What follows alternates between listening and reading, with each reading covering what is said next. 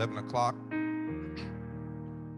Actually, from 10 o'clock to the time we shut off the lights, there should be one underlying theme of us attending this church, of us attending church, of us waking up in the morning to go to church, us going home and going to sleep after leaving church. From 12 o'clock Sunday morning to 11:59, 59 Saturday evening. We're going biblically from the time the sun sets on Saturday evening to the time the sun sets on Friday evening. Everything has a recurring theme is that we serve an awesome God. And if you will know that you serve an awesome God, give the Lord a round of applause for his awesomeness in keeping us each day. Him allowing us to have a job, Him allowing us to have a roof over our heads, Him allowing us to have food in our stomachs, to allow us to have be in a right mind, even when we've gone plumb crazy. We serve an awesome God. Can someone say amen? Sister Valida, keep on playing. Uh, what you just did corresponds with the message for today. And so I want to say thank God for inspiring you for singing that song. So I'm going to ask that we stand in reverence to the Word of God as we open up our Bibles. It'll also be on the screen. We'll open up our Bibles to the book of Hosea. What did I say? Hosea, the third chapter. And we'll read verses 1 through 7. I want to hear your voices as we read Hosea chapter 3. Sorry, 1 through 5. I apologize. It's five verses, not seven. 1 through 5. It's the whole chapter of Hosea. Let's of chapter 3. Let's read together. It says, Then Hosea said to me, let's read, Go again and has committed adultery just for the children of Israel to other gods and love the raisin cakes of the pagans. So I bought her and myself for 15 shekels of silver, one and a half homers of barley. And I said to her, Stay with me many days. You shall not play the harlot, nor shall you have a man, so too will I be toward you says also, next verse it says, For the children of Israel shall abide many days without king or priest, without sacrifice or sacred pillar, without ephod or teraphim. Afterward, the children of Israel shall remain, return and seek the Lord their God and David their king. They shall fear the Lord and his goodness the latter days. I'm going to go and read to you right here. It says verses 1 and 2. Then the Lord said to me, Go again, love a woman who is loved by a lover and is committing adultery. Just like the love of the Lord for the children of Israel who look to other gods, love the raisin cakes of the pagans. So I bought her for myself for 15 shekels of silver, one and a half homers of barley.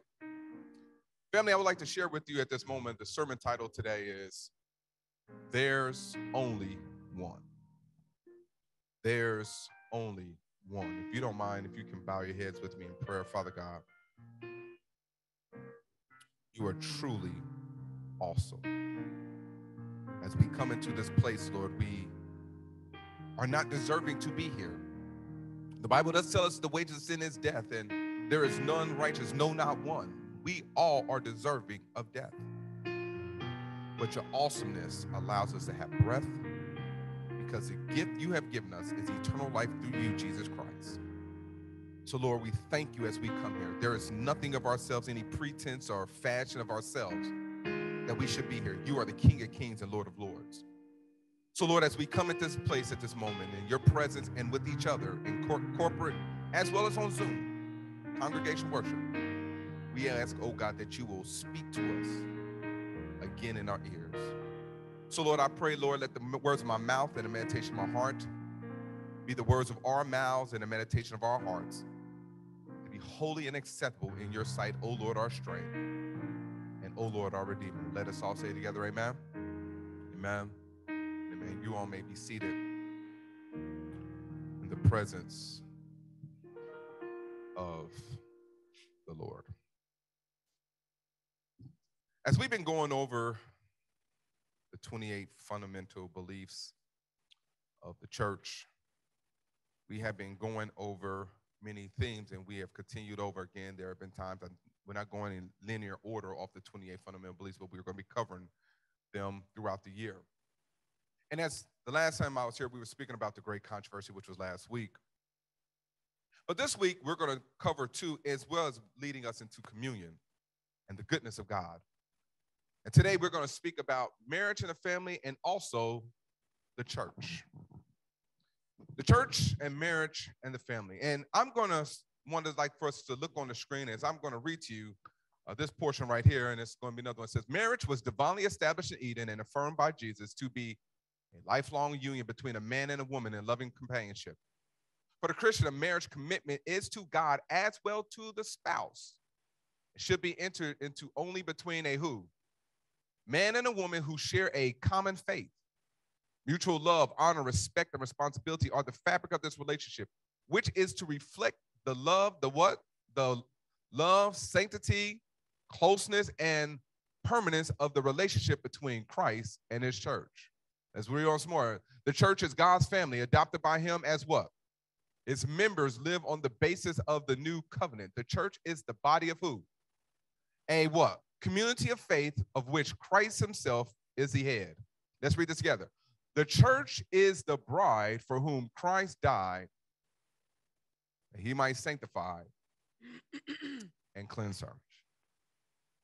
I was having a portion of learning and going over the sermon at the beginning of the week. I have to tell you as well, I, I, I have been very busy. My wife and I, we've been doing some things around the house and trying to make sure that we get the yard up because family, just let you all know, I don't like weeds. Can someone understand? If you understand what I mean by not liking weeds, you can say amen. I am trying to do my very best because the more you could eradicate the weeds in your yard, the less amount of times you have to cut the grass. Because someone say, Amen. I don't want to be cutting weeds and not cutting grass. Weeds grow faster. And so working on those things and, and even the aspect of, of my wife and I are talking about trying to put together garden boxes so we can grow our own food. Growing your own food in a subdivision, Lord have mercy. But as I was going there, I, I was I was also recognizing and thinking about the NCAA tournament. I didn't even get a chance to watch much of it, but I went to bed. And as I went to bed, I I woke up and and I got some text messages that were sent forth by a text group that blew my mind. And for us, we probably know what I'm about to come towards in this is it's about the Oscars. Uh-oh.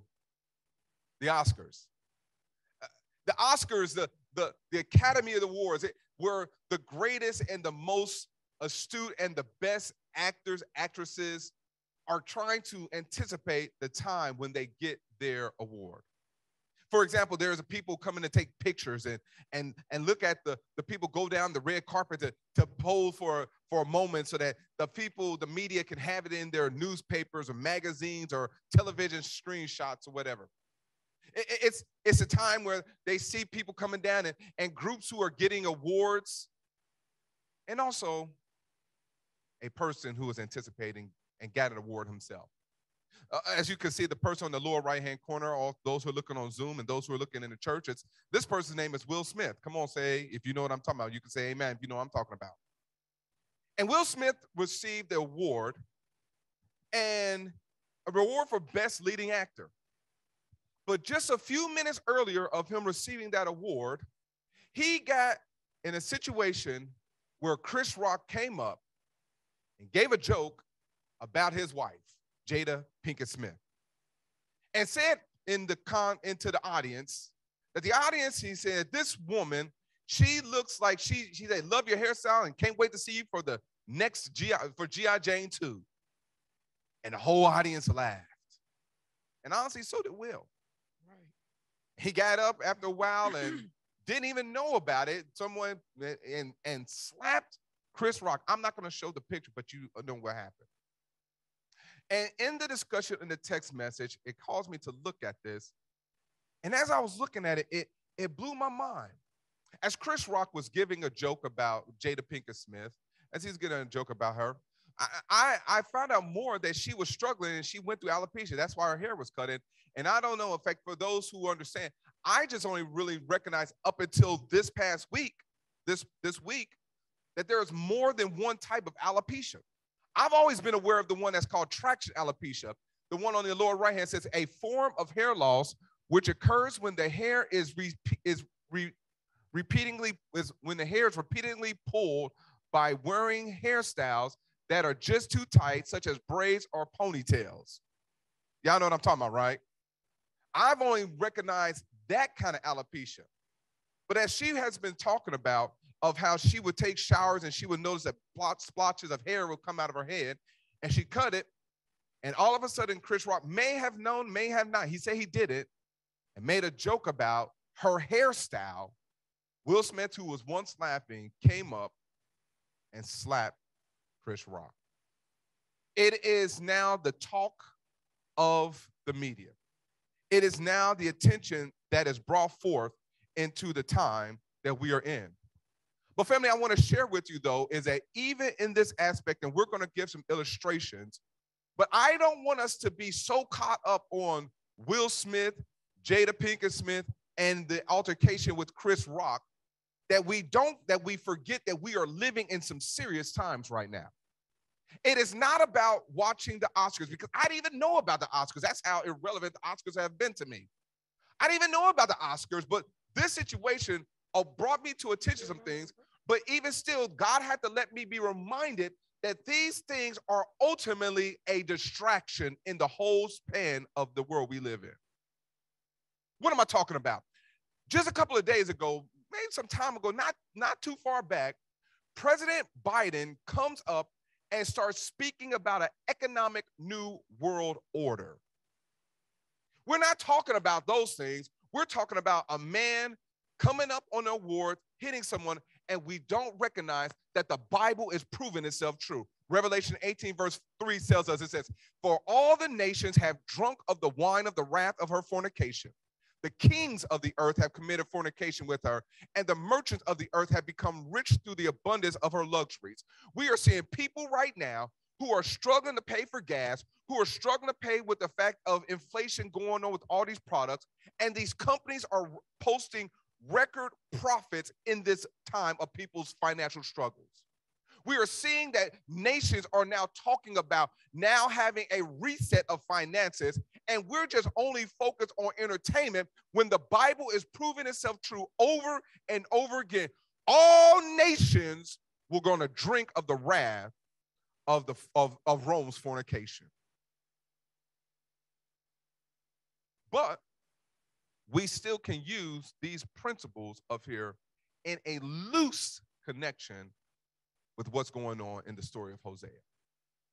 Hosea, his, his name means salvation. It, it could be connected with Joshua of the, of, that, of the family line. And the beginning of the book of Hosea is, as you will look at it in chapter one, God tells Hosea, he tells Hosea to go and marry somebody it is very good to marry. Because somebody say amen? He says, marry somebody.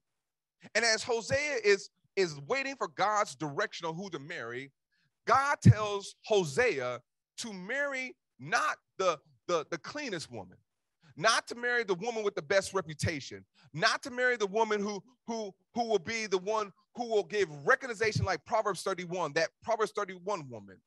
He tells go he tells Hosea to marry a woman who is known to be a harlot or was going to eventually become a harlot, one who will not be faithful to him, one who will bring dis- disgrace to the family's name, one who will be a laughing stock to the community.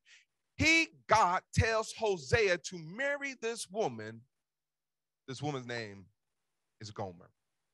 And as he is married to Gomer, he is, they have been receiving children.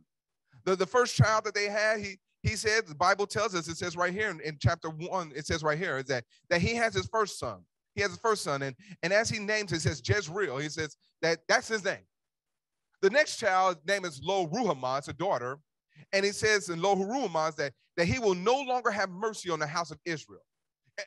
As, as Hosea is looking at this second child. He's he's starting to notice that this child doesn't have some of the things, but possibly could be his.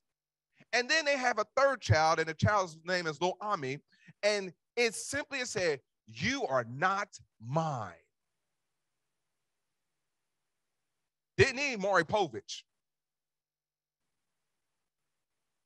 And it got so bad that Hosea finds his wife somewhere, and Hosea, who has married this woman, who has given of his own resources to marry this woman, is now in a position of seeing her in a place that she should not be, and Hosea will have to give resources to get her.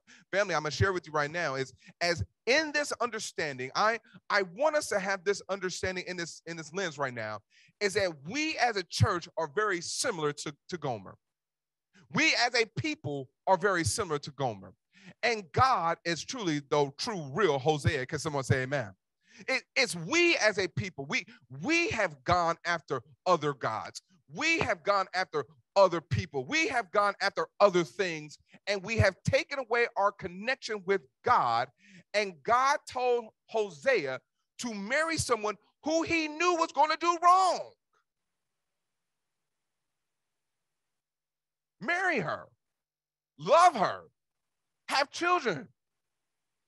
He tells, as we just read in chapter three, as he finds Gomer, Hosea finds Gomer in a place that she not should not be. She should be at home, but she ain't home.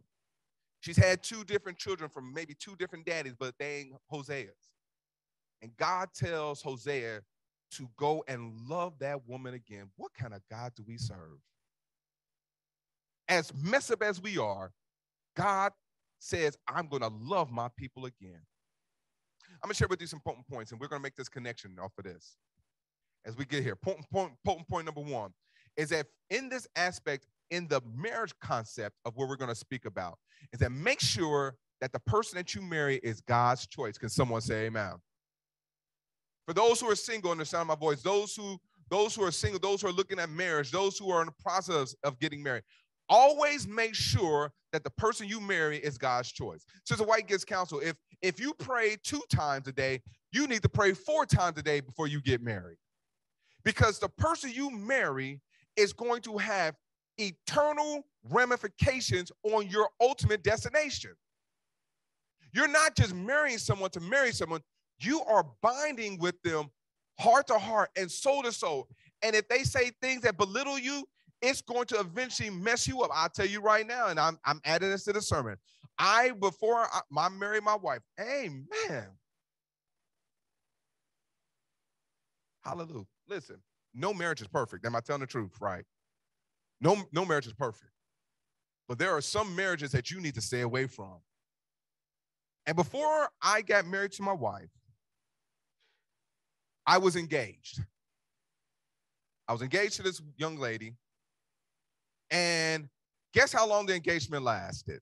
I'm adding this into the sermon because I want you to understand to make sure that with the person you marry is God's choice. Guess how long that marriage lasted?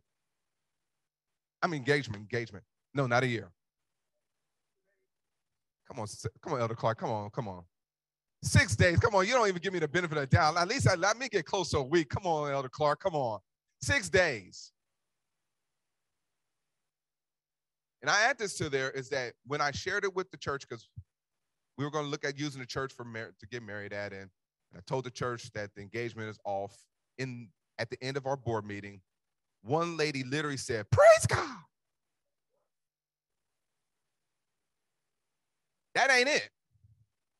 And multiple members from that time on kept on telling me, Pastor, it was not a good choice. Now, what if I would have what they didn't tell me anything. It was, they didn't tell me anything until was afterwards.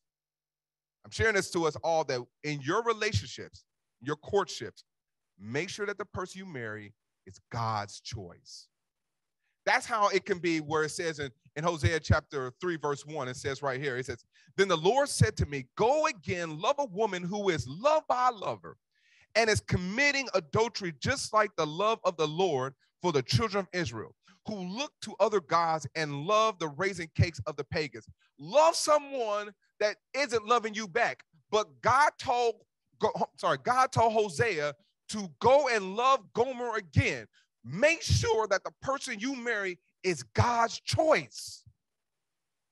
Because here's some scriptures. Ecclesiastes chapter 4, verse 12 says, Though one may be overpowered by another, two can withstand him. And a threefold cord is not quickly broken.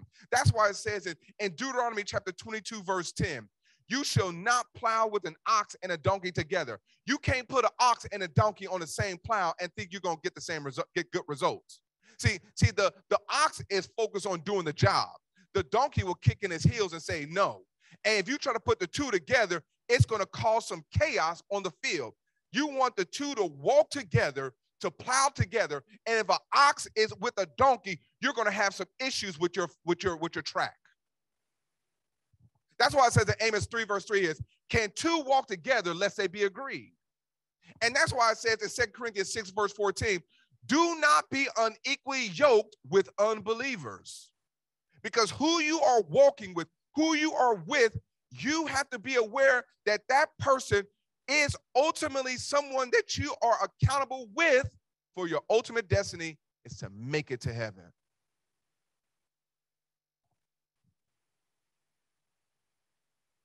Gomer is now a slave.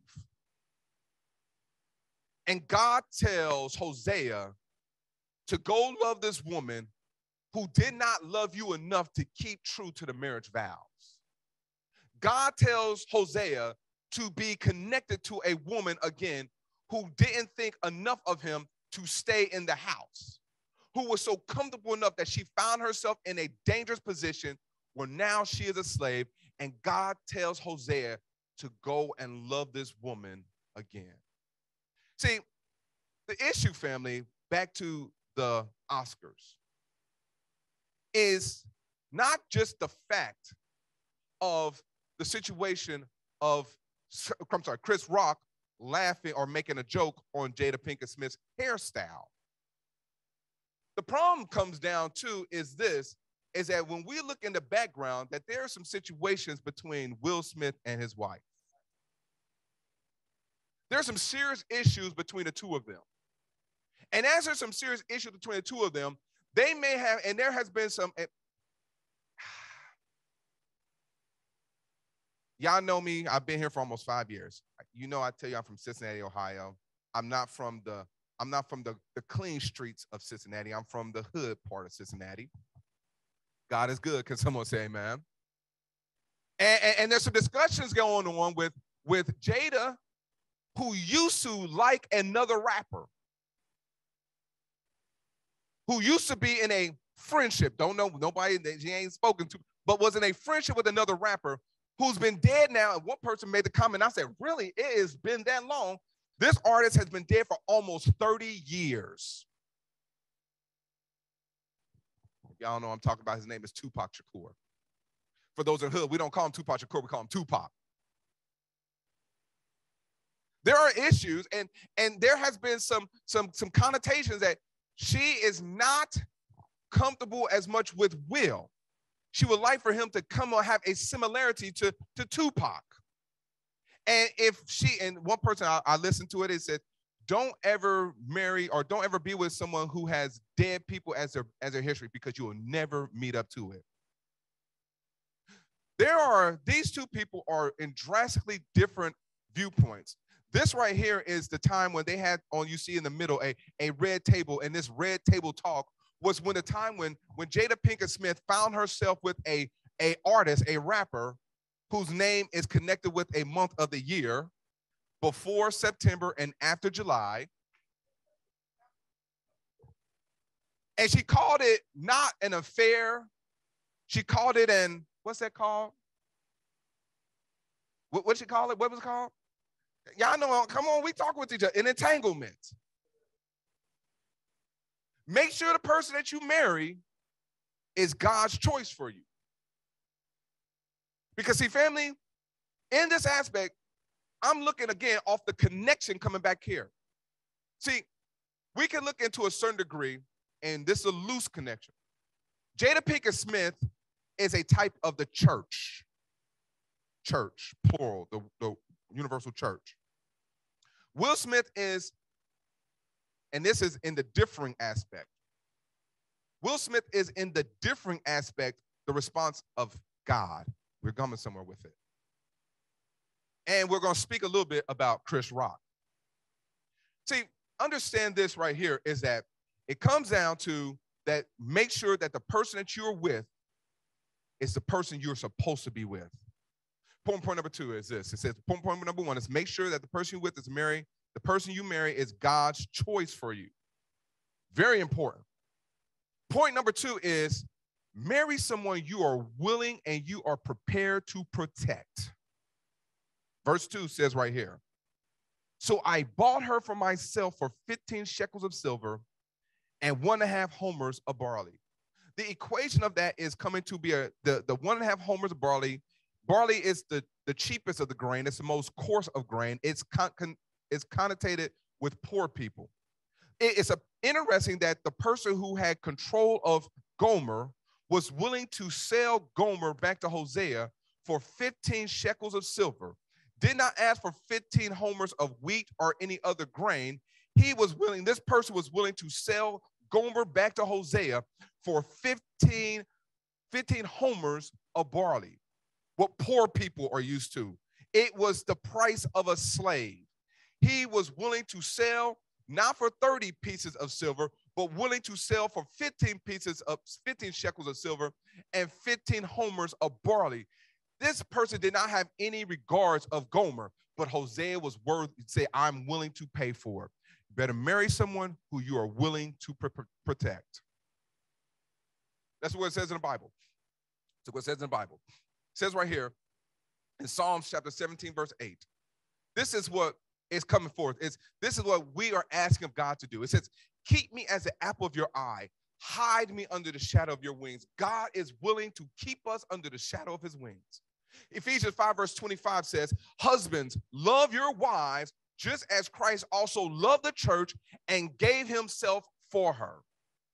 Colossians chapter 1, Colossians chapter 1, uh, sorry, Colossians, um, Colossians chapter 1, verse 21 and 22, part 8 says, And you who once were alienated and enemies in your mind by wicked works, yet now has he reconciled in the body of his flesh through death Jesus saw enough of the church, saw enough of people who are fallen, who have messed up, who have left God, who have gone after other idols, who have gone after other gods, who have gone and kept God away. But God loved us so much that he came down on this cross to die for us by shedding of his blood so that we can have a new outlook in life.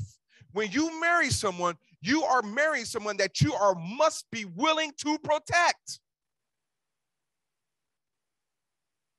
Too many times people are looking at getting married just for the, the time when the sun sets. Too many people are, are trying to get married to someone who they think that they can get up in financially. But when you are marrying someone and you are connecting with a person like that, you have to be willing to even risk your life. Now, ladies, I've used this in my marital counseling sessions and premarital counseling times. How many ladies want to be with a man if, and I hope that doesn't happen, how many women would like to be with a man if someone broke into the house that he's hiding underneath the bed asking you to protect them? Ah, he, he look good. He look good. No, you don't want that. Come on, say amen.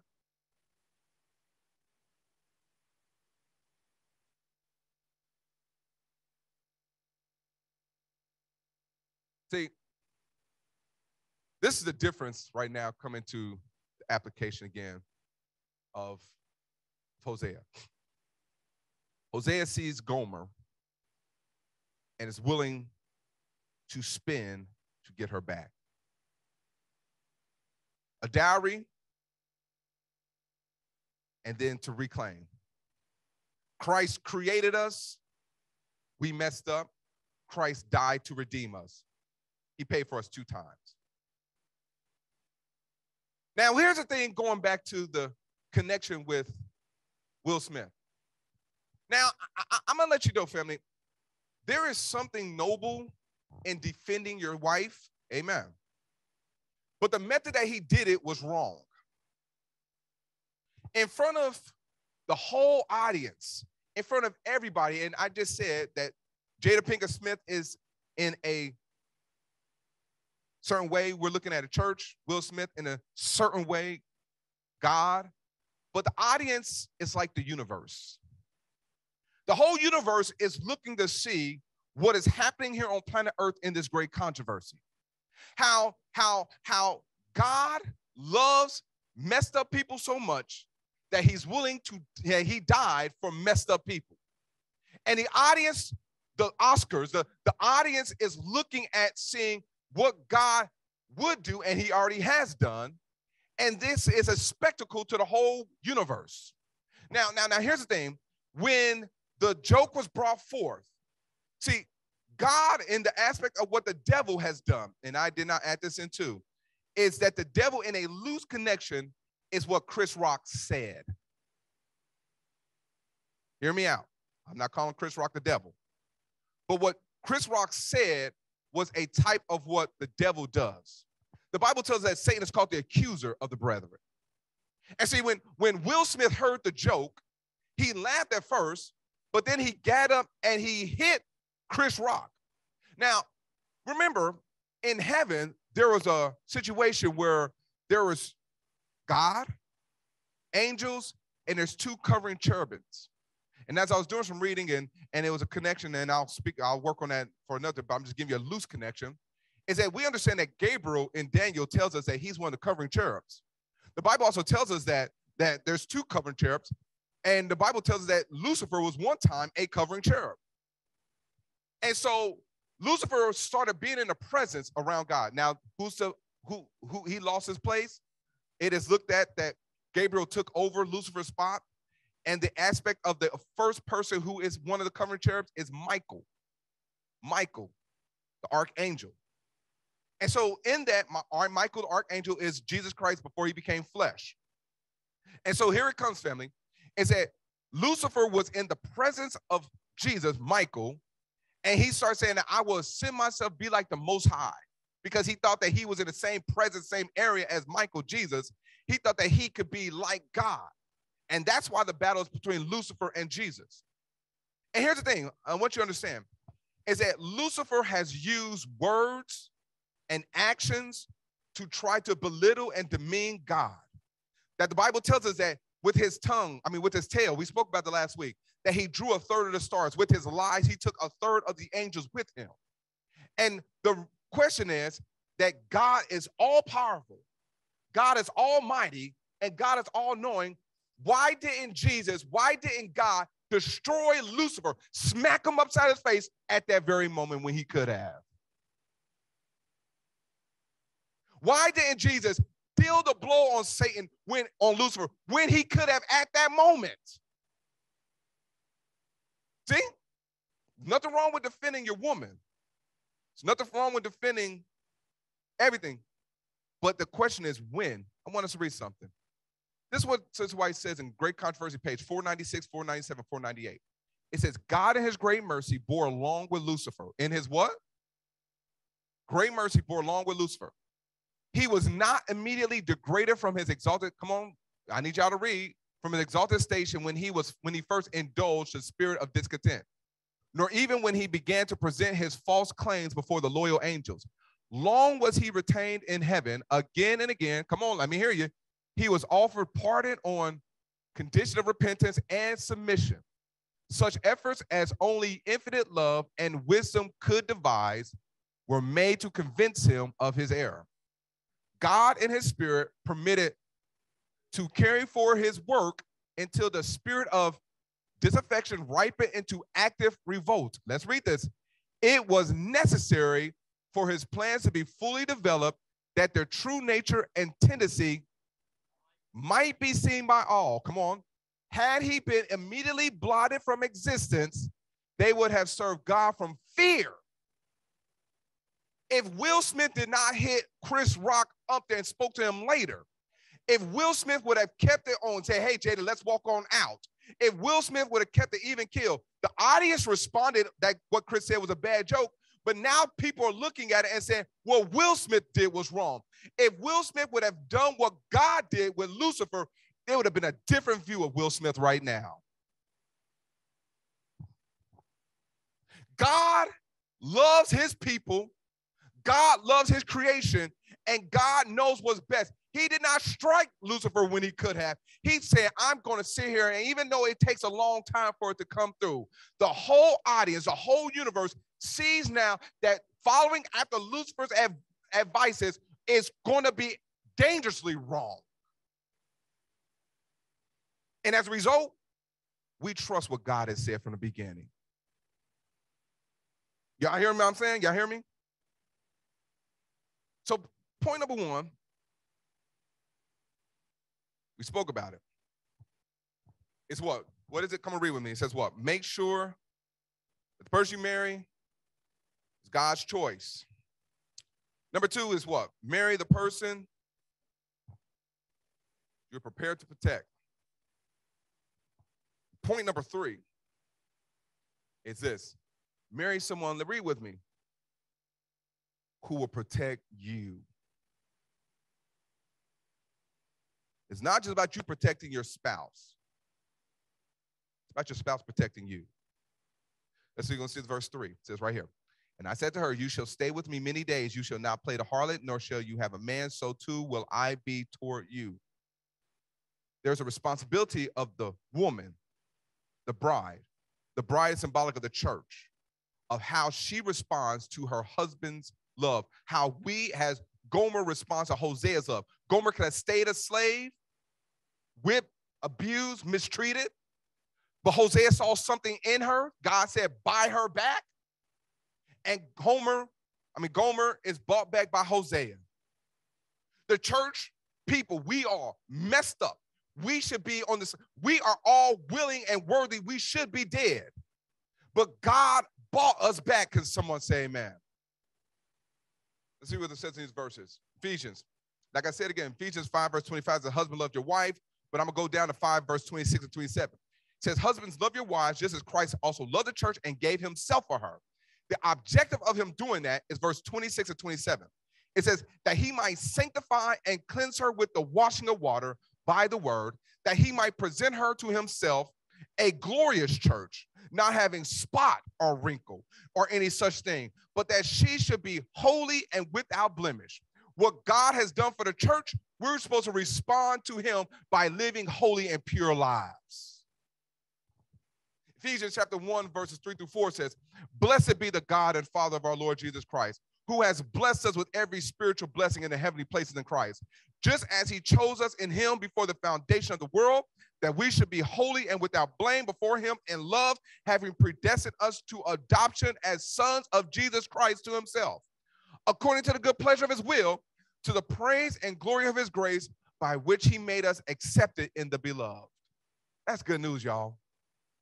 And finally, Galatians, Colossians 1, verse 21 22. Now, I just said that earlier. You see part A, but I'm going to read again.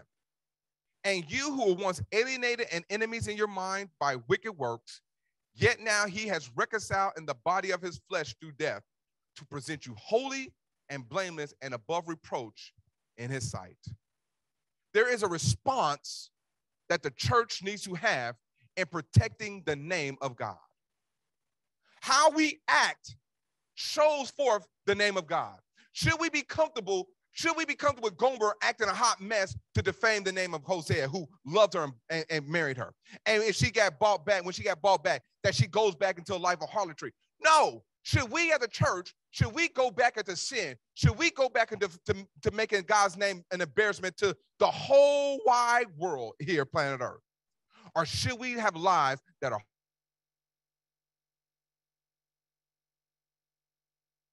holy name. And we have responsibility in our love back to God to protect his name. The sad thing about that red table talk was not just the fact that Jada said that it's entanglement and not an affair. The sad thing is not just that Jada Pinkett Smith, when when when Will Smith on and what happened on the Oscars on, I think, Sunday night, when Will Smith was about, when the joke came forth and she got mad and she rolled her eyes, and Will Smith's about to get up. If a woman cares about a man, she'd have said, Don't you dare go up there. She should have protected Will. But now Will is the major butt of the conversation. She should have protected Will. But going back to the red table talk, the sad thing about that red table talk was what the very last things was at the end of that show said. And this is what they said, and you'll see it on the screen. They literally said, bad marriage for life. And pounded each other.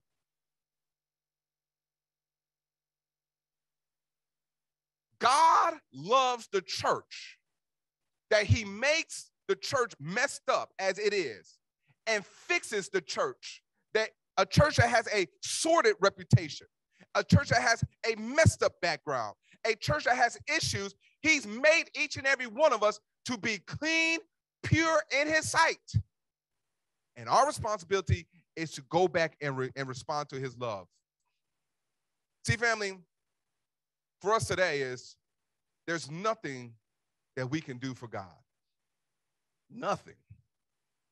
There's nothing that we can do for God. See, as we go over the Sabbath school lesson, the Sabbath school lesson tells us that, that God is self-existing. He, he is not created by anything. He is before there was, and he will be if there is no more to come. God is self-existing. No one else is self-existing. We exist partially because of our parents, but primarily by the will of God. Psalms 139, verse 3, Isaiah 49, verse 5, Jeremiah 1, verse 5. I say those again. We exist by the will of God. Psalms 139, verse 3, Isaiah 49, verse 5, Jeremiah chapter 1, verse 5.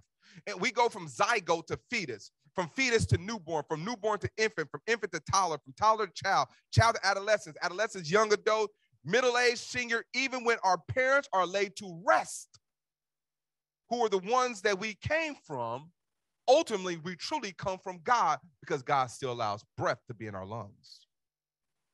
Our existence is still dependent on the one who exists simply because he is.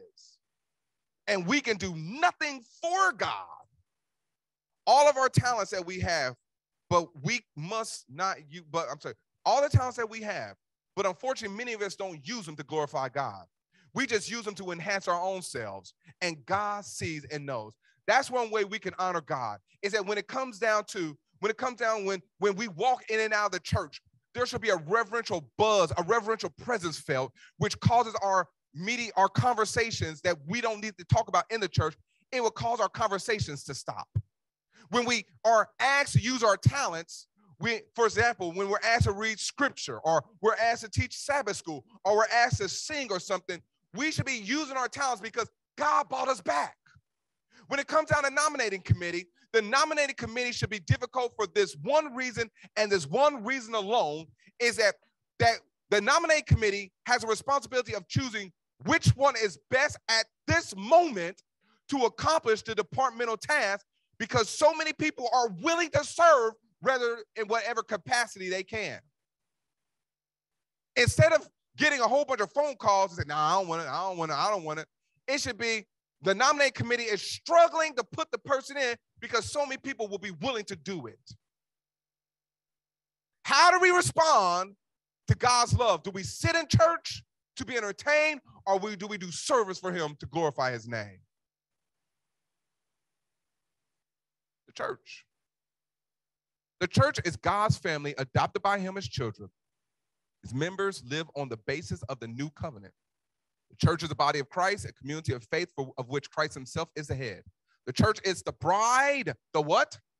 The bride for whom Christ died that he might sanctify and cleanse her. Next portion. At his return in triumph, he will present her to himself a what?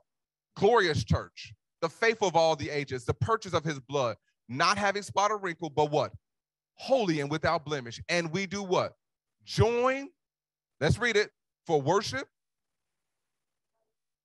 for structuring the word, for the celebration of the Lord's Supper, for service to humanity, and for the worldwide proclamation of the gospel. That's why we're here for communion service.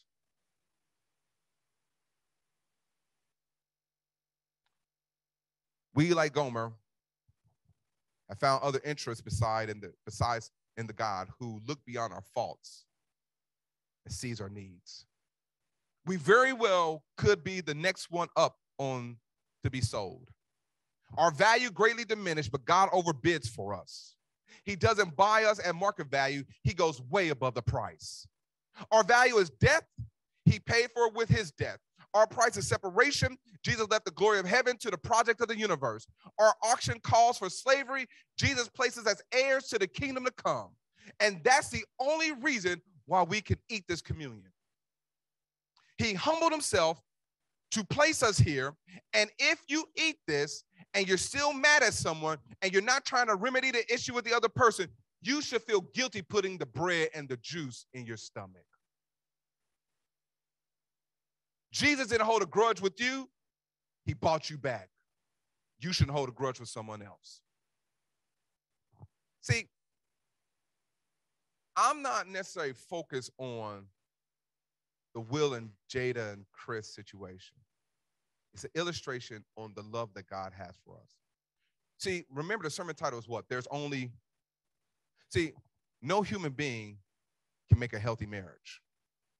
No human being can take someone who doesn't really care about them and make them love them.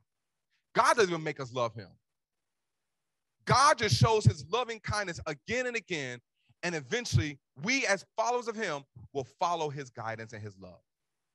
Only one person can, can see how messed up we are and show that love on a consistent basis, not retaliate, not kick back, not get mad, not get up on the stage. Only one person can ride it out and knowing the right time to bring his people to be with them. Only one person. And it's none of us, men or women here on this, this building, or in this city, or in this state, or in this country, or in this hemisphere, or in this world. None of us can do it. Only God can do it.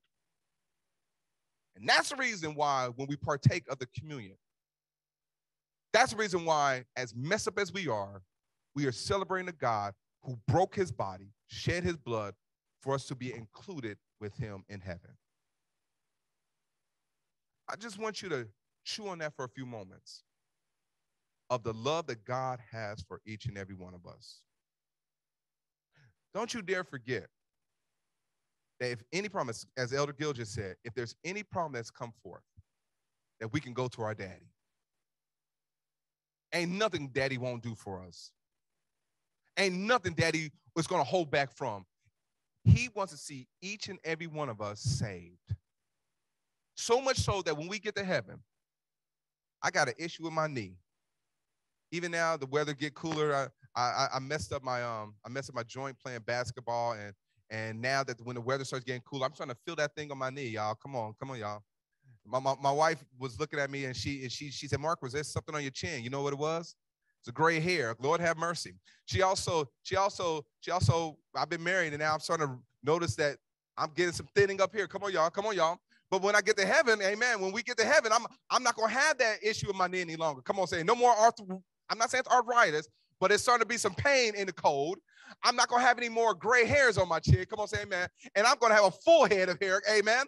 Because when we partake of the communion, we are celebrating the God who died and right, right, right, rose from the ground to bring us to be back with him. We are deserving of our situation. We can't buy it back. We can't earn anything. We just have to put trust in only the only one who can save us.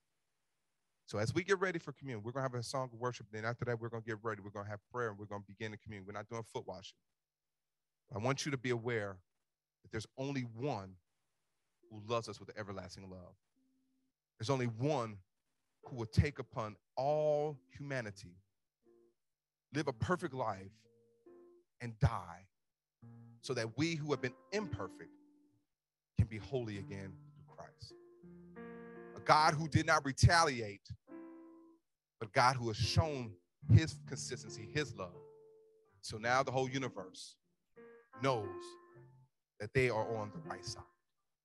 And we do too as we come and we participate in community. Let us bow heads for prayer. Father God, there's only one. You alone, Lord, are worthy to open the seals. You alone, Lord, are worthy to redeem us. Angels may have begged to be the ones who walked on this earth to and to live, live and, and die for us. But created can't save created. Only way we could be redeemed is by you, Jesus, and you alone. And so all the attacks that Satan has brought forth on you, the, the ridicules, the spits, the laughter, the mocking, the nails, the piercings, Lord, only you, when we get to heaven, Lord, in my pain, what I'm going through right now, what the pain we may be going through right now, only you in heaven will still have marks of what you went through on earth for eternity. Only you, God, can show us what love is about. So, Lord, I pray that you'll be with us. Lord, I do pray for the situation that went on this past week, and Lord, be with the Smith family. I pray that you'll be with, with Rock and be with all those participants in that. But Lord, I pray for us, Maranatha Fellowship. God, at this moment that we see of the illustration, the story of how you called Gomer to be redeemed by Hosea. Gomer, her name means complete. Hosea names means salvation. Lord, she had a way to go, but Lord, you were working on completing her because you had home, you had Hosea, salvation to be impacted upon her. We are incomplete, but thank you, Jesus, for your salvation that you're working on us right now. And so, Lord, as we hear the song and as we begin communion, Lord, we pray that you will be in everything that is said and everything that is done. Keep us as we are committing ourselves to be holy thine. We give you praise, glory, and honor. In Christ's name we do pray. Amen. Amen. amen.